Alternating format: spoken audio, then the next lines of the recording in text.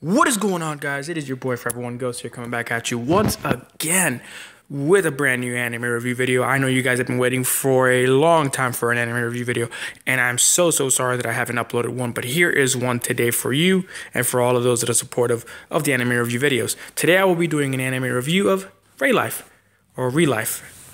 Um, I will tell you my thoughts and opinions of the show, my review, and where I would rate this show, and I will begin with obviously telling you the plot story.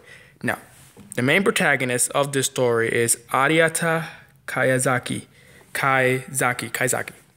So he's the man with the cigarette. So a long time ago, he had a job at a business company that he was working at. And about three months after he had quit because of it being not of his standard of some sort, but he had kept a darker secret from the reason why he left. But though, so he left and he had a very hard time, you know, socializing and trying to get a job other places long enough to keep him. So one day he was just finishing his job or pretending that he had a job, even when he was going around with his friends after he had quit his last job. And he went around pretending he had a job and he would go to, you know, business meetings or even go to friends uh, at the bar or something like that. And then one day he was coming out of the bar, someone came and approached him a young man called Rio Rio Yoke Yoaki Yoaki. I think that's how I pronounce. It. I'm sorry if I'm not pronouncing it correctly. Anyway, so he comes along and tells him, "I can offer you a chance. I can offer you a chance to redo everything. I want you to restart your life by giving you a chance as a high school student, going back to high school, remotivating you, and he'd help him by." Paying for paying him and his living expenses and etc. And also when he was done helping him with the program called Ray Life or Re Life, he told him he would do all these things and get him a permanent job.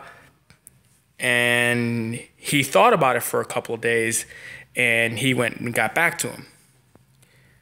So I was thinking at the time when I saw this, some guy offering you a second chance at fixing what you want to have fixed for your life to be better is something a lot of people don't really take into and really think about like getting a chance to do something right and fixing it. In real life, he did get this chance. And meeting the guy that he had spoken to is, is insane.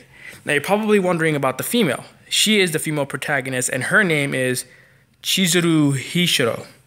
Now, she's going to be playing a very important role in this anime. Now, I recommend you guys watch it first, and if you guys have not seen it, I recommend you watch it first, and then you can come back to this review. Um, again, this is a very good anime. I recommend this to any of those who are very interested in a story like this, because I've never seen something like this where you, you know, go into this very odd position to go into this program to get a second chance to become a teenager again, go to high school for an entire year, and all that stuff. But that's obviously the plot of the story here, so that's what goes down into it. You know, and then you see the rest of the the friends that are there in the new high school and people that he starts to meet there, and all these other great people that he gets to meet while getting the second chance at at life, I guess, in some sense. Um, definitely would recommend this show to any of you that are fans of, you know, stuff like this or any kind of anime of this sort where it's very, very nice, very quiet, and very awesome. Because at times it gets very awkward, but it's very cool in a, in a very funny and nice way. Um, a definite top 20 or top 10, 100%. Very good show. Uh, I definitely would place it there. Um, and I definitely would give this uh, a very solid 8.5 out of 10. It's a very good show. If you're interested in a story like this, where this kind of stuff happens, where you get a chance to do something like this, or go back to an age where you can go back and do this, then it's awesome. Now, a little bit more into the story is that after Rio, Rio, whatever, I don't know how to pronounce it. I apologize once again.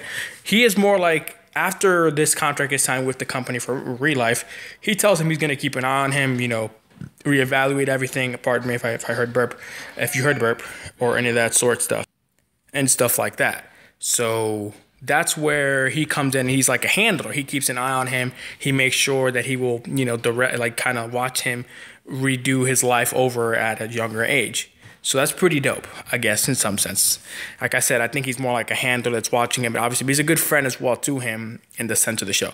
But anyway, uh, definitely a 10 out of top 20 show. Definitely would recommend it. Like I said, an 8.5 rating. Again, Very good anime. I definitely recommend it. It's on Crunchyroll, on sub. Very good anime. I recommend, once again, I keep uttering the same words again. I do apologize. I recommend you guys check it out.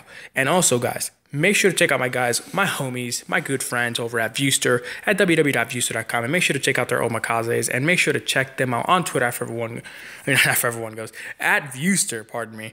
And make sure to check those guys out and make sure to give them some love and buy their omakase and let them know the Ghost Man sent you.